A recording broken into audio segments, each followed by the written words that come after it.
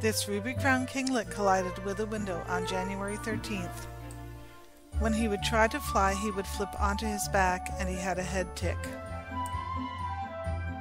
Over the next few days, the head tick improved with treatment. Birds can get concussions just like people and need medical care to reduce brain swelling and inflammation.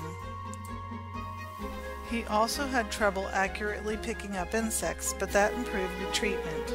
Ringo was one of our tiniest patients, weighing 6.1 grams or a quarter of an ounce. If you find a window collision victim, place them in a ventilated box lined with towels. Place the box in a safe, quiet place, then contact a rehabber. Window and building collisions claim millions of birds annually in the United States. And this species is one of the top 20 most commonly found birds during Project Safe Flight monitoring. After several days of treatment, Ringo's head tick was gone, his feeding behavior was normal, and he was soon flying again. After just over two weeks of care, Ringo took his freedom flight on January 29th.